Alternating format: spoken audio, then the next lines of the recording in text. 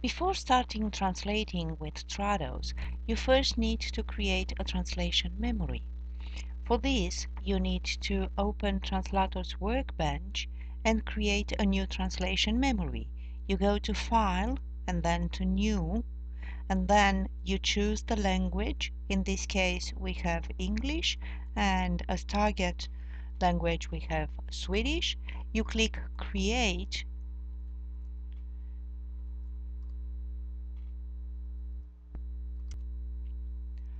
and then you choose a location for your translation memory. I always advise you to create a special folder for your translation memory, usually named TM. Then typically uh, the name of your translation memory includes source language and target language and then you click Save.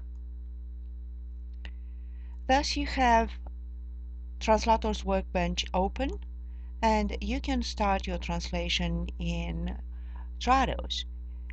You click anywhere in the first line and then for opening the segment you go to Open, Get and here you have two lines. The blue one represents the source and you are never supposed to touch it and you always write your translation in the yellow part of the segment.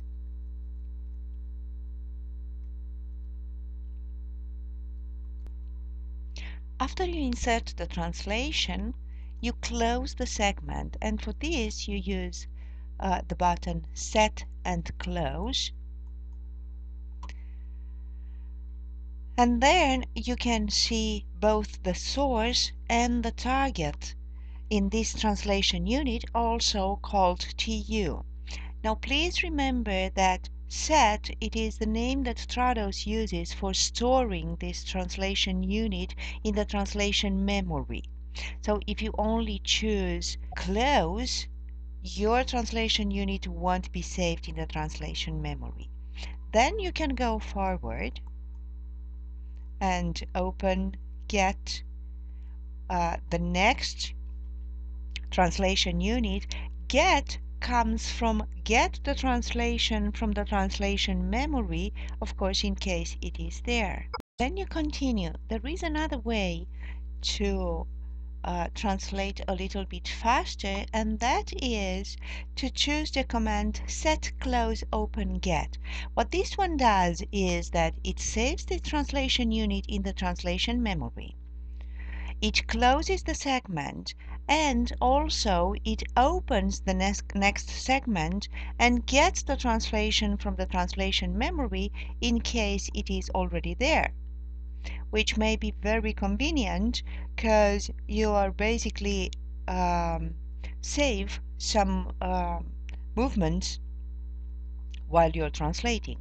So then again we go with set, close, open, get but if we only want to close the segment without saving it in the translation memory, then we only choose close. Now let's go a little bit further and get the concept of fuzzy. So I'm going to open another sentence also with open get. And what do I have here? I already have the translation and it is on yellow but something must not be right for this because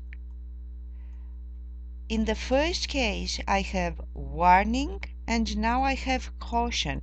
Now workbench shows the differences, it highlights the differences when you have a fuzzy and also it shows a match, how high uh, the similarity for something that we've been translating before is.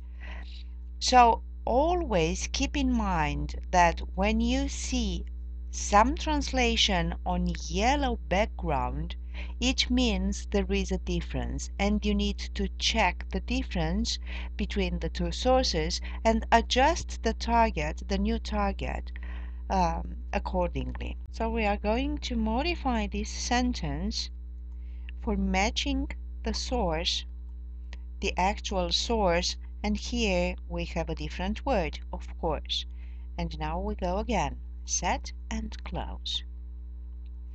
And so you go until the end of document opening each segment and be sure you save each translation unit in the translation memory.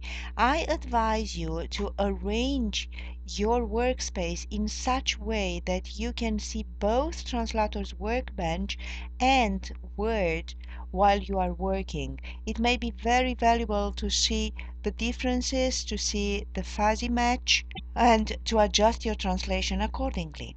It is always professional to name your files in such way that the content is very clear. So I advise you to always use the professional uh, naming used in international uh, standard for translation and localization and that is with underscore and the target language not with tr from translator not with pr from uh, proofreader but with the target language regardless your role in uh, translation so we are going to suppose that we finish the translation and now let's see how we can clean the document.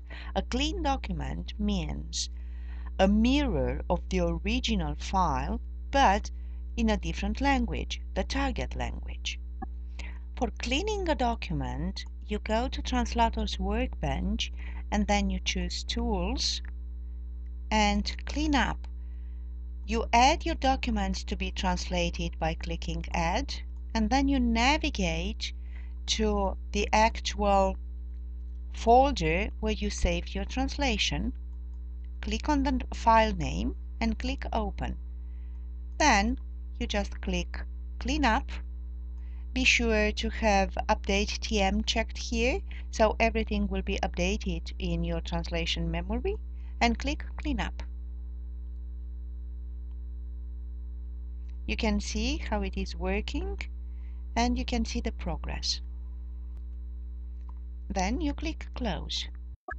Then when you deliver, you will deliver both the clean and the unclean file properly, properly name with target language in the file name and also you will deliver the translation memory.